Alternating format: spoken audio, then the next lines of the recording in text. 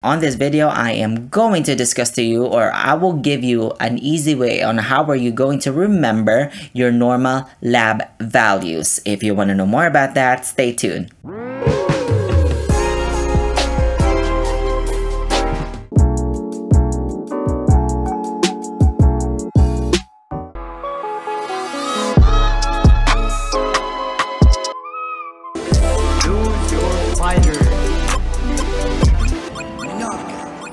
Welcome back to my channel. If you're new here, my name is Deal Gavin. I'm a registered nurse and I do have a degree in medical surgical nursing.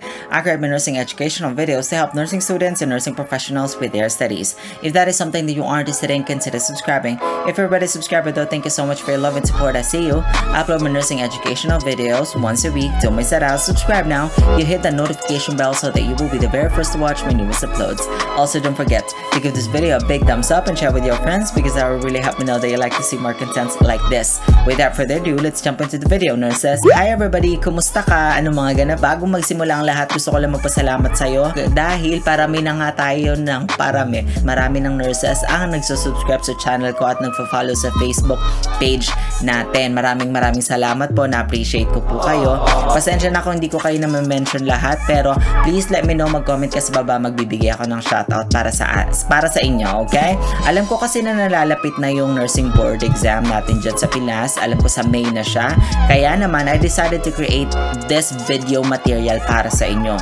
Today, we are going to discuss about lab values. And you guys, this is part 1. Um, you know, the normal values that we commonly encounter sa exam or sa clinical or sa area mismo.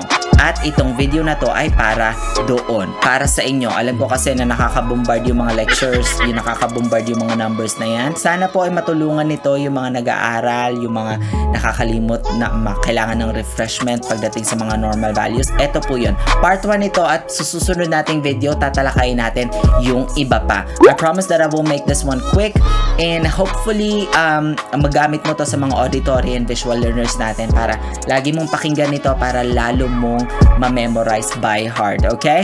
Na ano ba yung mga dapat mong asahan sa video na to? We're going to discuss about your erythrocyte values, your WBC values, ano pa ba? Coagulation studies, um, electros, uh, electrolyte serums, and pati na rin ang renal function studies. Lahat ng normal values na yun, I decided na i-cut down muna siya sa lima para naman, para naman merong mastery, okay? Huwag ka mag-alala kasi like I said, part 1 ito, may part 2, hintayin mo. Now, in order for me to do that, I will need to switch back to my PC and I'll see you guys in a bit. Alright, hi everyone! Welcome back sa ating formal discussion ng yung laboratory values cheat sheets. Aha, let this be your nursing study guide sa pag-aaral mo ng mga normal values natin, mga lab- laboratory values. Alam ko, alam ko, napakamahirap, napakamahirap, napakahirap talagang kabisaduhin itong part na to, but we don't have any choice but to memorize it by heart. And let this video guide you in magsilbing cheat sheet mo sa pag-aaral mo. Alam ko kasi nalalapit na yung ating ah, National Licensure Examination sa Pinas at ah, hopefully makatulong ito sa pagme-memorize mo ng mga normal values. Huwag ka mag-alala kasi itong nakalagay dito part 1. Hindi ko kasi siya kayang o hindi ko siya ayoko siyang ilagay lahat sa isang video kasi baka mabombard kayo. Gawin natin siyang part 1, part 2, part 3 and so and so forth. Pero sisikapin ko na makover ko lahat ng mga laboratory values na meron tayo sa nursing, yung mga commonly at madalas nating nakikita sa area at lumalabas din sa mga examinations, okay? Now, kung hindi mo pa napapanood yung other nursing mnemonics, nursing discussions, mga playlist na ginawa ko under sa sa concept ng nursing education, panoorin mo siya. Ililink ko yung ba- mga playlist ah, sa description box or kapag nagpapa-out yung icon button, i-click mo lang yon. Baby, I promise you this that, ah, that this is going to be really quick. So, simulan na natin. Ano ba yung mga dapat mong asahan sa discussion natin for today? We're, well, for the part 1, we are going to discuss about the erythrocyte studies. Mga values po ito ha. White blood cells and differential coagulation studies, serum electrolytes, alam mo na yan, and renal function studies. Handa ka na ba? Let's begin. Alright, so erythrocyte studies. Ito na nga ba siya? Ito na nga ba siya? Ito na nga po siya. Oo. Ayan. So, ano-ano ba yung mga lab values na kadalasan makikita mo kapag when we're talking about your erythrocyte studies? Alam mo na to, mga dugo ito, RBC, normally, okay? So, ito na siya. Una, red blood cell count, RBC. Sa male, uh, male adult, ang normal value mo is 4.5 to 6.2 million cubic millimeter.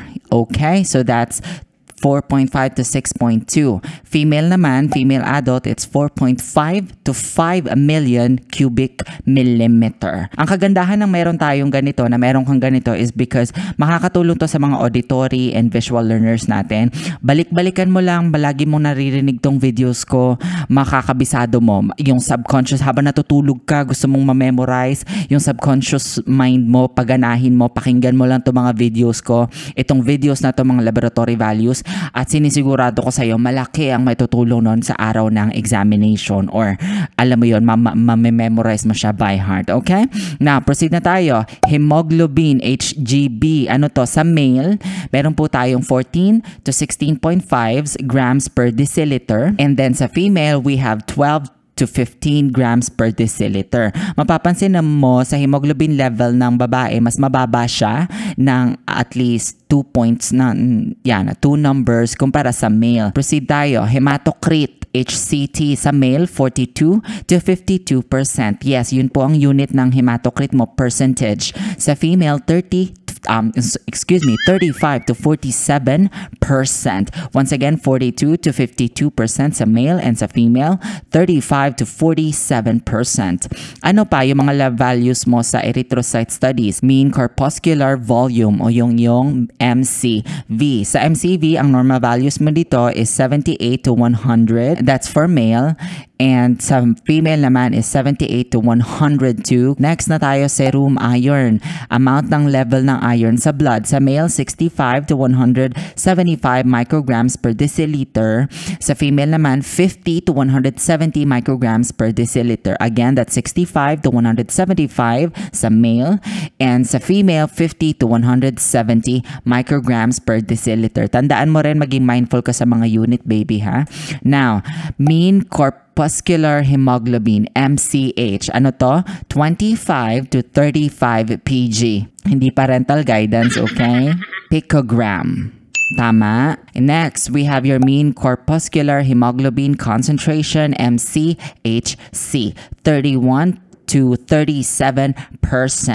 What else? You have your erythrocyte sedimentation rate, ESR. Madalas natin itong nakikita sa ward. Nakikita natin itong mga values na to sa mga pasyente natin. Anong normal value mo? Male adult, 4.5 to 6.2 millions cubic millimeter. Ano pa? Kapag naman sa female adult, you have your 4.5 to 5 million cubic millimeter. Okay? So once again, these are your erythrocyte studies. Pa-screenshot na lang ako at kung may na-miss ka, gusto mong balik-balikan kagaya ng sinabi ko, paulit-ulitin mo lang itong video na to. Okay, so white blood cells and differential. Pag-aaralan naman natin, white blood cells, WBC. Eto na tayo. So ano-ano ba yung mga makikita mo dito? Syempre meron ka diyang WBC. Ano ang normal value mo? 4. Point, uh, I'm sorry, 4,500 to 11,000 cells cubic millimeter. Okay? Now, neutrophils. Ito yung mga differentials ng o mga nilalaman o mga components ng WBC mo. Neutrophils, 55 to 70% or 1,800 to 7,800 cells cubic millimeter. Next, you have your lymphocytes, 20 to 40% or 1,000 to 4,800 cells cubic millimeter. You have your monocytes, 2 to 8% or 0. 0 to 800 cells cubic millimeter. What else? Eosinophils, you have sa percentage 1 to 4% or 0 to 450 cells cubic millimeters. Ano pa? Basophils, 0 to 2% or 0 to 200 cells cubic millimeters. Bands, 0. Uh, 0 to 2, uh, 2% or 0 to 700 cells cubic millimeters. Bakit kailangan mong malaman yung normal values? Bakit kailangan aware ka sa normal values natin sa nursing? Kasi doon mo malalaman kung merong deviation from normal. In that way, malalaman mo kung may problema ba tayo sa infection kapag may increase ng WBC count sa pasyente mo or kapag may mababa ba ang hemoglobin level or hematocrit level ng pasyente mo, that means merong bleeding. That could be a sign of bleeding or anemia. You know what I mean? So this is very important for you guys to master and, you know, to really memorize it by heart. Again, these are your white blood cells and differential. Proceed na tayo. Coagulation studies. When you talk about coagulation studies, ano ang unang pumapasok sa utak mo? Platelet. Okay? So, eto na siya. Okay. So, una na natin dyan, platelet count PLT. Ano to? 150,000 to 400,000 cells cubic millimeter. Pag mas mababa ito ang platelet count mo, anong ibig sabihin nun? Prone sa bleeding ang pasyente mo. Kapag naman mas mataas, merong coagulation problem ang excessive coagulation problem ang iyong pasyente. Next, activated partial thromboplastin time, APTT. Mhm, narinig mo na to for sure. Ano ang normal values nito? Well, this is actually measured by seconds. Time po, 20 to 60 seconds depending on the type of activator used. Prothrombin time. Again, prothrombin time PT. Seconds pa rin po ang unit mo dito. Uh, unit of measurement 11 to 13 seconds. What else? You have your international normalized ratio. That's INR. The INR standardizes the PT ratio and is calculated in the laboratory setting by rising the observed PT ratio to the power of the international sensitivity index specific to the thromboplastin reagent use. Okay? Now, fibrinogen, you have 203 to 377 milligrams per deciliter mg per dl fibrinogen 203 to 377 ano pa? Bleeding time. Again ang unit of measure mo dito unit of measurement mo is by minutes. So 1 to 3 minutes that's Duke method and 3 to 6 minutes IV method. Yung D dimer naman o yung D tinatawag nating D dimer o yung D naman ang tinatawag nating dimer that's less than 500 ng per ml. What's ng per ml? Ano yon? Nanogram per millimeter. Okay, nanogram per millimeter. Once again, these are your coagulation studies. Alright? Screenshot mo na, baby. Kung na-miss mo, gusto mong balik-balikan, pakinggan mo lang ulit ang audio nito. Ikabit mo yung headset mo. Promise, ang ganda ng boses ko doon. Charing. okay. Actually, parehas lang to eh. Yung bleeding time natin, Duke method and IV method. Again, ulitin ko lang, 1 to 3 minutes. That's Duke, uh, Duke method and 3 to 6 minutes IV method. And lastly, you have your D dimer. That's less than less than 500 nanograms per millimeter. Okay? So, screenshot mo na, proceed na tayo. Serum electrolytes. Nako, ito na sila mong potassium, calcium, oo. Kung hindi mo pa napapanood yung ginawa kong lecture material about sa mga electrolytes natin, yung mga papasok na rin dyan yung IV fluids lecture na ginawa ko, panoorin mo siya baby kasi makakatulong yun sa'yo. Alright, so, ano-ano ba yung mga uh, serum electrolytes natin? Al alam mo na na ang electrolytes ay napakalaking importanteng, I mean, it is very essential for us, for our body to maintain its function. Bakit? Kasi sila yung responsible for um, conduction ng ating ng electricity, ng impulses and maintaining the homeostasis sa ating katawan. Kung di kung gusto mong mas lalong maintindihan yung about sa electrolytes, panoorin mo yung lecture na ginawa ko about sa mga electrolytes, okay? Now, normal values natin, potassium. Anong normal nito? Ito, madalas na madalas to. 3.5 to 5 mex per liter. Okay, 3.5 to 5. May lecture material din na pala akong ginawa sa potassium. Tandaan mo yon Yung, ay, kung hindi mo pa napapanood yon nagkaroon din tayo ng drug study about sa potassium chloride. Panoorin mo yon Napakarami na po natin ginawang lecture material sa nursing. Okay, meron tayong sodium. Sodium is very, very, very important. Wherever sodium goes, water will follow. Mm-hmm. Karoon din ako ng lecture material nito. Anong normal value mo? 135 to 145 mex per liter. Again, Again, 135 to 145 ang unit mo, mex per liter. Tag- magdagdag ka lang ng 10 sa 135. Sodium na yon Yun ang normal value mo, okay? Next, chloride, Cl. Ang normal values mo dito, 95 to 105 mex per liter. Calcium. Sa calcium, may dalawa kang titingnan. Total calcium and ionized calcium. Sa total calcium mo, ang normal value mo dyan is 4.5 to 5.5 mex per liter. Or ang equivalent din nun sa mg per dl, milligrams per deciliter is 8.5 to 10.5 milligrams per deciliter. Yun lang naman ay kapag binigay sa tanong ay um, tawag dito, ang unit na binibigay is mg per dl. So hindi ka pwede maghanap ng mex per liter doon. So just in case meron na tayo dito, anong tawag dito conversion, okay? Na ionized calcium 2.5 mex per liter or kapag sa mg per dl that's 4 to 5 mg per deciliter. Okay? 56% of the total calcium po ang iyong ionized calcium. Alright? Now, let's proceed. Phosphorus, P. Anong normal value mo? 1.8 to 2.6 mex per liter or kapag mg per dl ang binigay, 2.7 to 4.5 mg per dl or milligrams per deciliter. That's your phosphorus. Next, magnesium mg. Anong normal value mo? 1.6 to 2.6 mg per dl. Nagkaroon ako ng study about sa um, what's this? Um, MgSO4.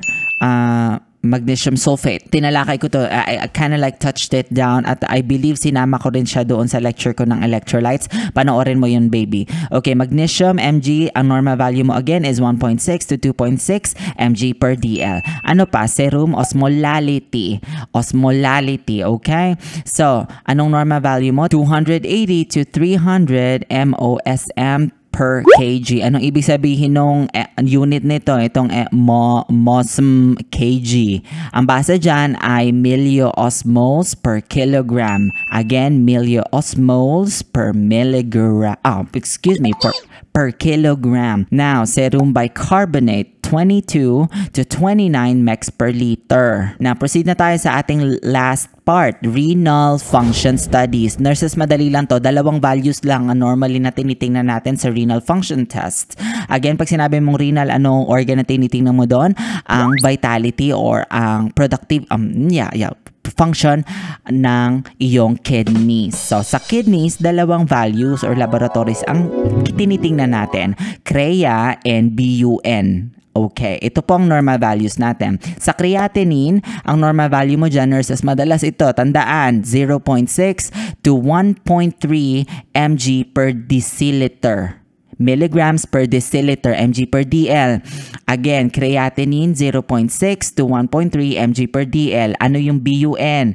Blood urea nitrogen mo. Anong normal value mo nun? 8 to 25 mg per dl.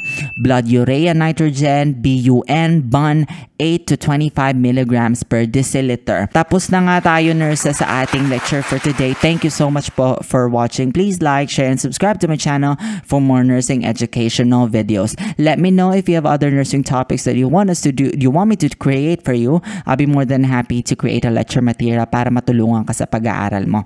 Good luck, good luck po sa mga nurses na magte-take ng kanilang NLE ngayong darating na Mayo.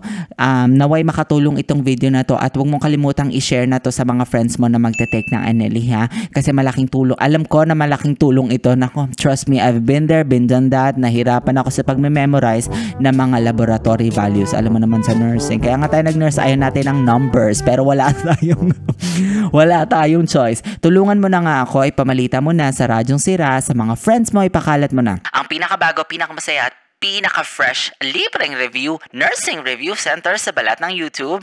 And I'll see you again next time. You have a good one. Thank you so much, nurses, for watching. I hope you learned something. Help me grow my channel. You are already here. You might as well subscribe. Hashtag Team Cool Talk. Give this video a big thumbs up and share with your friends. Let me know what you guys think. You put them down on the comment section below. Also, don't forget to check out the other playlists I created for you. I'll be putting the links on the description box. So simply click the second button right here. Let's connect. Follow me on all my other social media accounts. Everything is at Neil Gave except for my TikTok account, which is Neil Gave Official. Now, but by the way, before I forgot, please mag-like ka na at i-follow mo na ang aking Facebook page kasi nagpo-post din po ako doon. Okay? I'll see you again next time.